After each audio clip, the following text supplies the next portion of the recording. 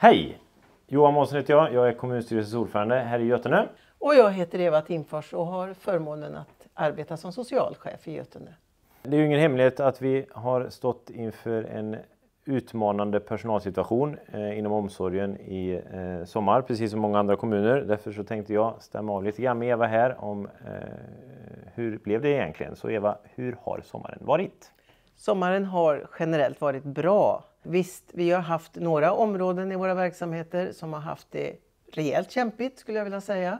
Men generellt så har ju den här sommaren varit betydligt bättre än förra sommaren. Vad är det som vi har gjort annorlunda i år som har gett effekt jämfört med exempelvis då föregående sommar? Vi gjorde en stor utvärdering förra året. Den tog vi tillvara, planerade betydligt tidigare och bättre skulle jag vilja säga. Eh, alla ekonomiska ersättningar för avvikande tjänstgöringar var vi klara med tidigt. Eh, vi gjorde den digitala introduktionen som har haft en avgörande betydelse också skulle jag säga. Det är några av de sakerna som jag tror har haft betydelse. Mm. Eh, har du någon uppfattning om hur personalen själva har eh, uppfattat semesterperioden? Än så länge har vi ju bara frågat våra semestervikarier som försvinner härifrån. Eh, och så småningom kommer vi också i höst nu och ta diskussionen på APT med ordinarie personal. Men om jag tittar på de svaren vi har fått från semestervikarierna så var det väldigt glädjande de svaren vi har fått. Eh, man har valt Götene för att man har varit här tidigare eller för att man har hört gott om Götene. Eh, de uppfattar att de har blivit väldigt väl emottagna och det skulle jag vilja säga det är ju tack vare vår fantastiska personal som har gjort det här mottagandet så att det faktiskt har blivit bra. Och sen vill de faktiskt också komma tillbaka nästa år och det är ju bra. Mm. Det behöver vi.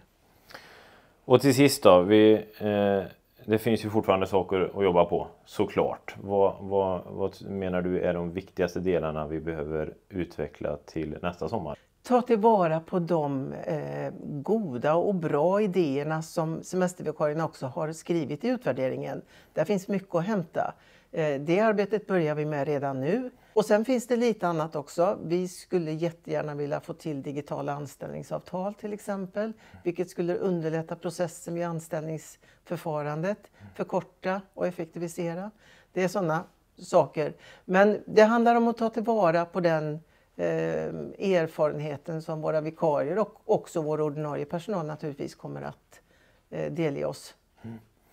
Och Eva, det här är ju faktiskt din sista sommar här i Götene kommun innan det är dags för pension vid årsskiftet. Ja.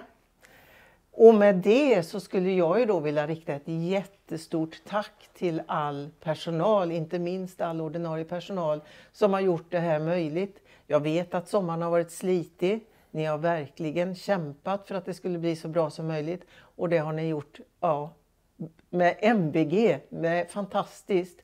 Jag är så tacksam. Så tack för att ni gav mig den här sista sommaren. Stort tack Eva. Tack ska ni ha. Nu blir det darrigt. Det var fint.